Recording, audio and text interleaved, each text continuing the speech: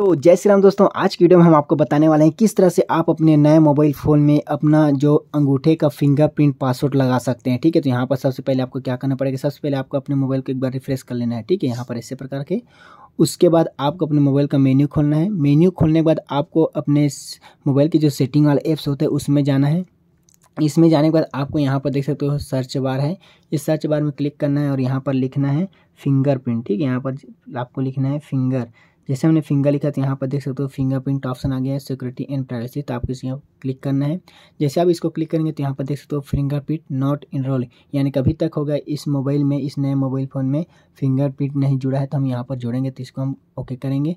जैसे हम इसको ओके करेंगे तो यहाँ पर हमारा पैटर्न और पासवर्ड मांग जो कि मैंने अपना स्क्रीन लॉक पासवर्ड डाला है, ठीक है तो यहाँ पर हम दे देते हैं।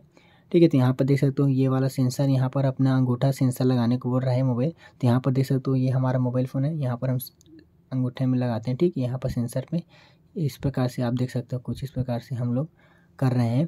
तो दोस्तों, वीडियो में नए हो तो वीडियो को लाइक करना, शेयर करना और हमारे चैनल को सब्सक्राइब करना, क्योंकि हम इस चैनल पर इसी तरह की वीडियो को अपलोड करते रहते हैं, ठीक है? तो देख सकते हो कुछ इस प्रकार से कुछ सेकंडों में ये हमारा जो फिंगरप्रिंट का प्रोसेसिंग है, वो हो जाएगा। तो यहाँ पर देख सकते हो कुछ इस प्रकार से हमारा जो फिंगरप्रिंट का जो पासवर्ड है, ठीक है, वो सेव हो चुका है।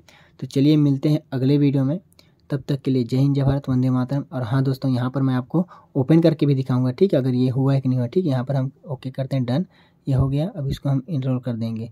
अगर आप इसके साथ अपना फेस पासवर्ड भी डालना चाहते हैं तो यहाँ पर डाल सकते हैं, ठीक है? तो यहाँ पर हमारा जो फिंगरप्रिंट है, वो हो गया है, ठीक है? यहाँ पर हम आपको लॉक करके दिखाते हैं।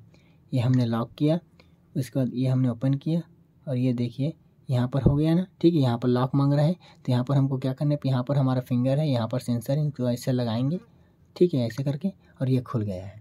तो दोस्तों, वीडियो अच्छा लगा वीडियो को लाइक करना शेयर करना चैनल को सब्सक्राइब करना। मिलते हैं अगले वीडियो में, तब तक के लिए जय हिंद, जय भारत, वंदे मातरम।